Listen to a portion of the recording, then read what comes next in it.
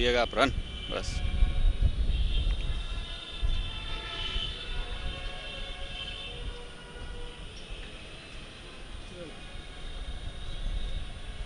कैंची और कपड़ा कारोबार सदियों से मेरठ शहर की खास पहचान रहा है, लेकिन इन कारोबार से जुड़े छोटे कारोबारियों को अब तक जो मुनाफा और पहचान हासिल होनी चाहिए थी, वो नहीं हुई है। सीजर क्लस्टर की शुरुआत के साथ मेरठ के बुनकरों में भी पावर लूम क्लस्टर की शुरुआत के लिए एक उम्मीद जगी है। ये उम्मीद न सिर्फ़ कारोबार के लिहाज से, बल्कि उन छोटे कारोबारियों की बेहतरी के लिहाज से भी उम्मीद की किरण साबित हो सकती है। कैमरा पर्सन वसीम अहमद के साथ तंजीर अंसार ई न्यूज़ मेरठ।